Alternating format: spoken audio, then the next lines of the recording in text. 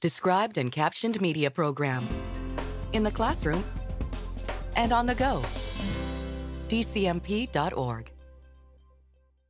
Ambrose Video Publishing Incorporated presents Great African American Authors, Program 3, 1925 to 1937.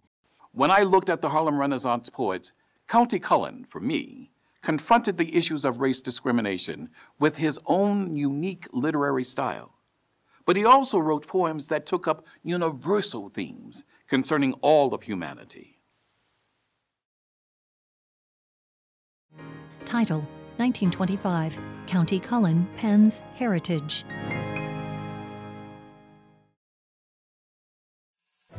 Photographs of black men are shown side by side. Like fellow black poets of the Harlem Renaissance, Langston Hughes, Claude McKay, Jean Toomer, and Arna Bontemps, Countee Cullen writes about the terrible plight of the black man in America. But he does something else.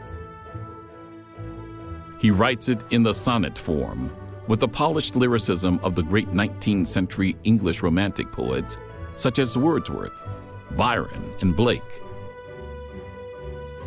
From Cullen's Yet Do I Marvel. A man recites, looking to his right.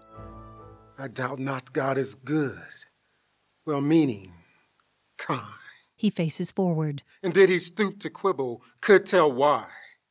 The little buried mole continues blind, why flesh that mirrors him must someday die.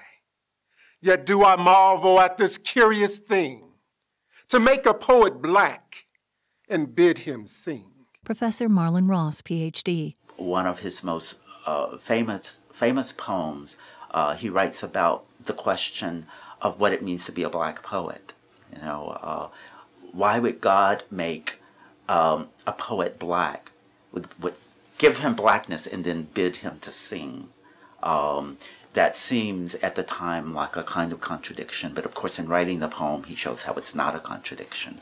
That the resource of African American uh, experience is poetic in and of it of itself. Cullen's early life is shrouded in mystery. He's shown as a young man. He was born around 1903 and probably abandoned by his mother and raised by his grandmother. In 1918, he was adopted by the Reverend Frederick Cullen and his wife.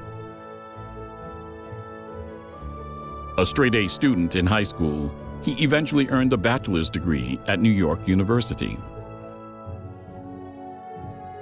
By this time, his poetry had earned him a place amongst the Harlem Renaissance intellectual elite.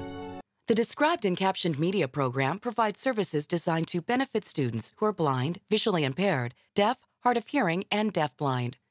These services include a library of free loan described and captioned educational media, a clearinghouse of information related to educational media access, a gateway to Internet resources related to accessibility, and a set of guidelines for adding descriptions and captions to media. There are no user registration or service fees. Visit the DCMP at dcmp.org. The DCMP is funded by the U.S. Department of Education and administered by the National Association of the Deaf.